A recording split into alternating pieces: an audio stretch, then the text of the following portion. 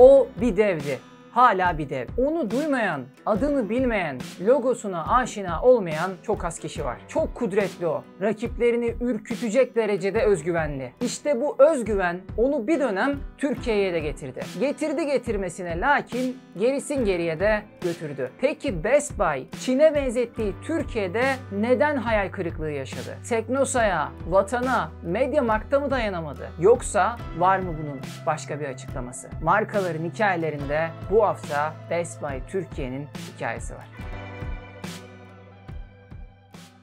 Yorumlarda yanıtlamanız için soruyorum. Best Buy'in Türkiye'de olduğu dönemde herhangi bir Best Buy mağazasına gittiniz mi? Deneyimleriniz nasıldı? Yorumlara yazın. Bu arada herhangi bir Best Buy mağazası diyorum ama çok da bir seçeneğiniz yoktu. Ne demek istediğimi şimdi göreceğiz zaten. Best Buy 1966'da Amerika Birleşik Devletleri'nde kurulmuş bir teknoloji perakende devi. Amerikalıların vazgeçilmez mağazalarından birisi. İşte Amerika'nın vazgeçilmez mağazalarından olan Best Buy genişleme politikaları kapsamında Avrupa'daki ilk ilk durağı olarak kendine Türkiye'yi seçiyor. Ve 2009 yılının Aralık ayında İzmir'de ilk mağazasını açıyor. Mağaza 4200 metrekarelik bir mağaza. Her ne kadar ilk mağaza 2009'da açılsa da Best Buy ön hazırlıklarına Türkiye'de 2007 yılında başlıyor. İstanbul'da bir ofis açıyor ve burada yapacağı işe dair bir araştırma süreci yürütüyor aslında. Yapacağı iş tabii ki belli ama Türkiye'deki teknoloji severleri, tüketicileri yakından tanımak için bu süreci yürütüyor. Best Buy'in o dönem Türkiye ülke müdürü olan Ruşen kopmaz müşterilerin tüm ihtiyaçlarını eksiksiz bir şekilde karşılayacaklarını, onlara eşsiz bir hizmet sunacaklarını söylüyor. Basındaki demeçler bu şekilde. Best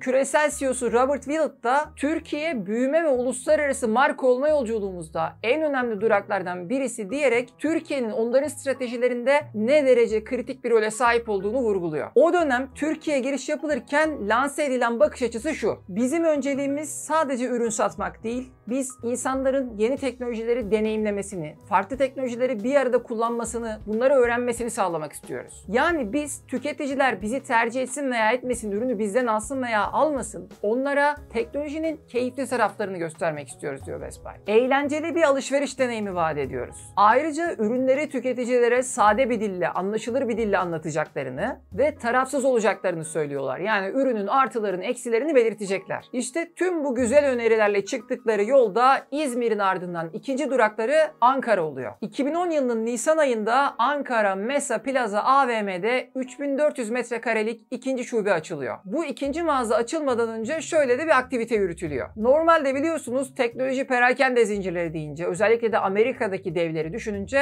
Black Friday'deki o kaos akla geliyor. İşte bu ürün kapma yarışını, o izdiham ortamını sanal izdiham adıyla dijitale uyarlıyor Best Buy Türkiye. Nasıl yapıyor bunu? Bir oyun geliştiriliyor. Oyunda önünüzde bir insan sırası var ve siz kendi karakterinizi sapanla çekip fırlatıyorsunuz. Ne kadar ileri fırlatabilirseniz, ne kadar fazla insanın önüne karakterinizi geçirebilirseniz o kadar yüksek puan alıyorsunuz. Her gün oyunu oynamak için belirli sayıda hakkınız var. Hakkınızı artırmak için de Best Buy'in Facebook sayfasını beğeniyorsunuz. Böylece hem sosyal medya etkileşimlerini artıracak hem Best Buy hakkında bilinirlik sağlayacak bir aktivite yürütmüş oluyor Best Buy Türkiye. O dönem ne derece katkısını gördüler bilmiyorum ama gayet basit ve güzel bir fikir. Şimdi bu tanıtım aktivitesini bir kenara koyup Best Buy'in bakış açısına biraz daha odaklanalım. Çünkü az sonra anlatacaklarımda bizi çok şaşırtacak şeyler olacak. En başta şunu söylemek gerekiyor. Best Buy Türkiye'ye geldiğinde burada kalacakların olan inançları tam. Hani %99 deriz ya bu %99.9. 2010 yılı sonuna dek 15-20 mağaza açmayı hedefliyorlar. Hatta bu sayıların çok daha fazla üstüne çıkabileceklerini de söylüyorlar ama önemli olan şube sayısı değil bizim burada iyi bir kadro oluşturmamız diyorlar. Yani öncelikleri eğitilmiş, markalarına inanan insan gücünü oluşturabilmek. Türkiye'ye geçici hevesle değil, bin yıllığına geldik. Türkiye Avrupa'nın Çin'i, biz Türkiye'ye iki numara olmak için değil, bir numara olmak için geliyoruz diyorlar. Ayrıca tüketicileri de gayet çekici kampanyalarla, rekabetçi kampanyalarla kendilerini çekeceklerini söylüyorlar. Kısa vadeli düşünmediklerini, Türk toplumuna adapte olmak istediklerini ve Türkiye'deki bazı lokal markaları alıp globale çıkarmak istediklerini belirtiyorlar. Türkiye'ye bin yıllığına geldik söyleminden itibaren yaptığım tüm açıklamalar aslında o dönem CEO Willett'ın basına yansıyan sözleri. Ve bence bunların arasında bizim açımızdan en önemlilerden birisi en son söylediğim. Yani Türkiye'deki bazı markaların, lokal markaların Best Buy aracılığıyla globale de açılabilme ihtimali. Eğer Best Buy kalıcı olsaydı ve bu gerçekleşseydi Türkiye'ye en büyük katkısı olurdu muhakkak. Willett'ın söyledikleri bu noktaya kadar özetlediklerimle de bitmiyor. Çok daha iddialı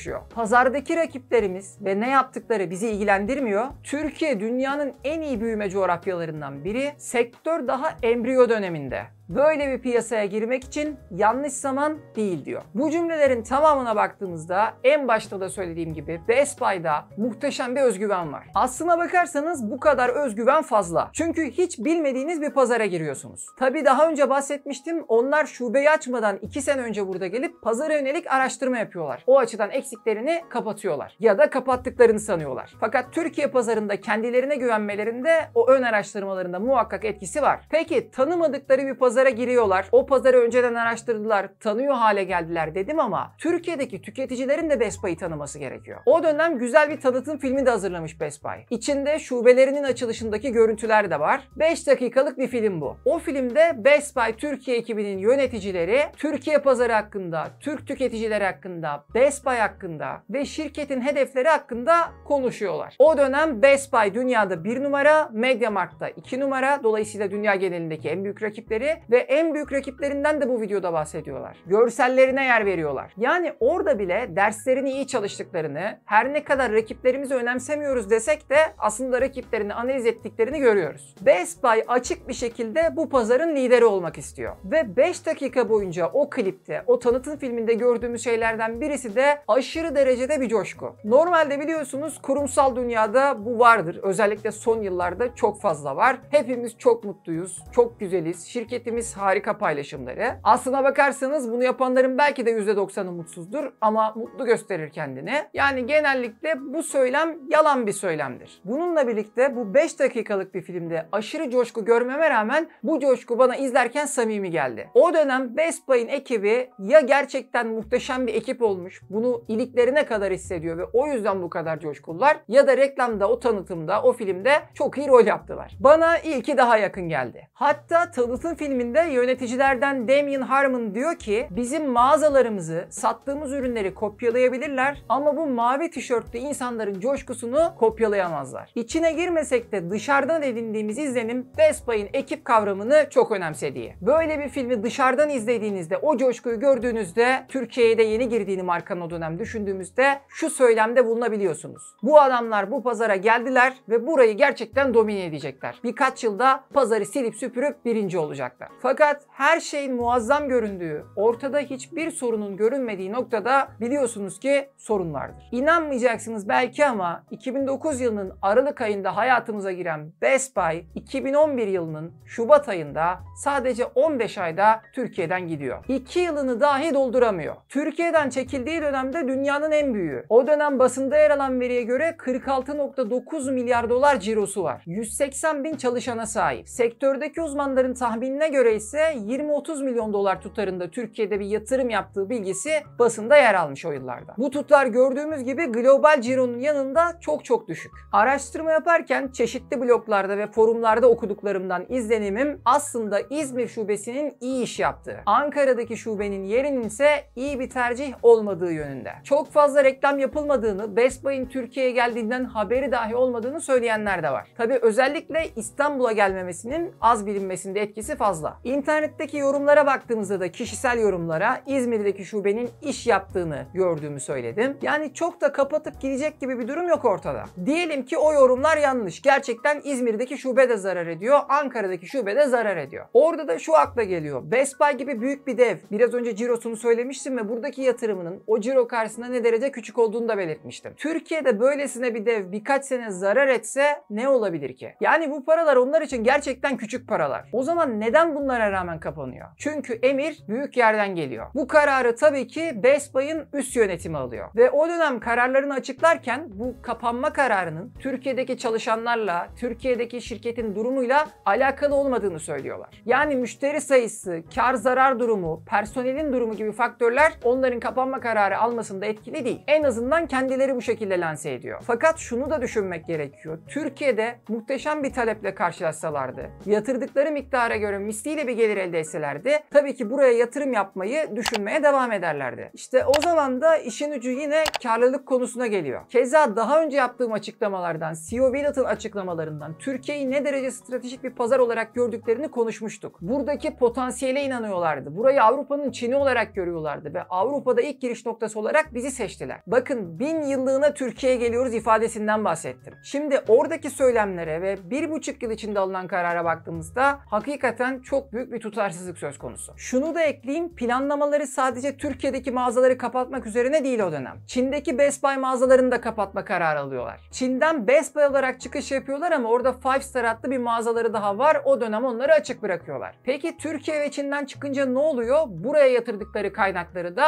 Amerika'daki en karlı operasyonlarına yani Best Buy Mobile'e yatırıyorlar. Sözün özü Türkiye Best Buy'ın asla vazgeçmeyeceği bir pazar gibiyken bir anda en kolay vazgeçtiği pazar oluyor. 100 milyon doların altındaki bir tutarı dahi gözden çıkarmamış oluyor Türkiye için Best Buy. Yeni stratejik hedefler eski stratejinin rafa kaldırılmasını ve bu yönde ilerlenmesini söylüyor. Geldiği gibi geri gidiyor Best Buy. Bir anda pazardan çekilmiş oluyor. Pazardan çekildi demişken MediaMarkt Best Buy'ın ardından bir reklam yapıyor. Reklamında diyor ki garanti kapsamında olsun veya olmasın tüm ürünlere Best Buy'dan aldığınız tüm ürünlere hizmet sunmak için MediaMarkt olarak biz buradayız. Reklamın en başında da diyor ki müşterilerimize bay bay demiyoruz. Böylece Best Buy'a hem isminden hem de aldığı aksiyondan bir gönderme yapmış oluyor. Peki Best Buy çekilince mağazalarına ne oluyor? Hem İzmir'deki Best Buy'ı hem Ankara'daki Best Buy'ı Teknosa satın alıyor. Bu mağazalar Teknosa'nın normal mağazalarından daha büyük mağazalar. Başlangıçta boyutlarını konuşmuştuk. Bu sebeple buralar Teknosa Extra olarak yoluna devam ediyor. O dönem Teknosa'nın genel müdürü Mehmet Nane. Kendisi Best Buy'ın Türkiye'den gelişine yönelik bir değerlendirme yapmış. O değerlendirmede durumun hem olumlu tarafını hem de olumsuz tarafını görüyoruz. Olumsuz taraf şu. Dünyanın kendi alanında en büyüğü Türkiye'ye geliyor. Dolayısıyla pazarda rekabet artacak. Fakat rekabetin artması değil olumsuz olan. Olumsuz olan Best Buy gidince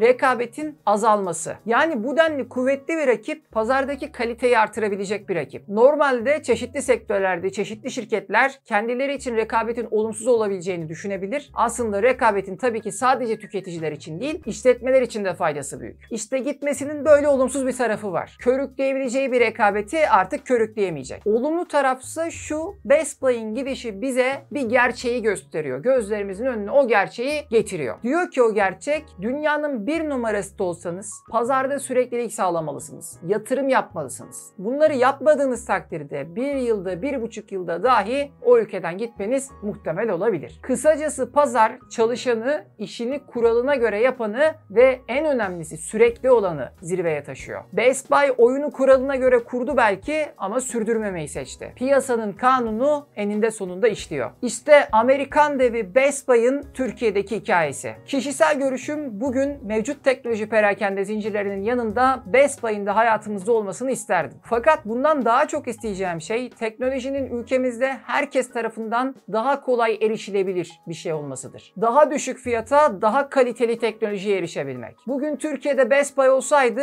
herhangi bir zincirin 40 bin liraya sattığı bir bilgisayarı belki Best Buy'da en büyük indirimiyle 35 bin liraya satacaktı. Ama asla 20 bin liraya satmayacaktı. O nedenle isimler çok önemli değil. Önemli olan pazarın durumu. Bizim ürünlere ve hizmetlere nedenle erişebildiğimiz. Asıl soru bizim neden bir bilgisayara 35-40 bin lira vermek zorunda olduğumuz. Neden başka ülkelerdeki insanların çok daha rahat eriştiği teknolojiye, bugün gündelik hayatımızda, eğitim hayatımızda, iş hayatımızda ayrılmaz bir parça olan, artık özel tüketim dahi sayamayacağımız, temel bir ihtiyaç sayabileceğimiz, ekmek gibi, su gibi temel bir ihtiyaç sayabileceğimiz bilgisayara neden bu denli fazla paralar dökmek zorunda kaldığımız soru. 40 bin liralık bir bilgisayar için bir asgari ücretlinin 5 ay yemeden içmeden çalışması gerekiyor. Bunun neden bu şekilde olduğu asıl soru. Aslında bunun nedenini, bu işin arkasındaki mantığı artık Türkiye'de herkes biliyor. Fakat sorun şu ki bunu toplum olarak okuyarak öğrenmedik. Deneyimleyerek öğrendik. Deneyimleyerek öğrenmek okuyarak öğrenmekten çok daha güzel bir şey normalde. Fakat ekonomide aynı şeyin geçerli olduğunu söyleyemeyeceğim. Çünkü okuyarak öğrenirseniz önleminizi alırsınız. Stratejiler geliştirirsiniz. Ona göre hareket edersiniz. Yaşayarak öğrendiğinizde iş işten zaten geçmiştir. Olan olmuştur. Öğrendiğinizi artık kolay kolay unutmazsınız ama yaptığınız hataların ceremesini çekeceksiniz. İşte bizim ülkemizdeki ekonomik yapıda şu anda bu şekilde. Yani iş işten geçmiş durumda ve ceremesini çekiyoruz bunu. Lakin şu da bir gerçek ki her daim piyasada, pazarda umut vardır. Yani siz bu deneyimleyerek öğrendiklerinizden sonra doğru aksiyonları almayı seçtiğinizde pazar, piyasa size karşılık vermeye, olumlu yönde hareket etmeye başlar. Velhasıl kelam ne Best Buy ne diğer teknoloji perakende zincirleri isimler önemli değil. Önemli olan pazarın, marketin, gerçeğin kendisi. Gerçek olan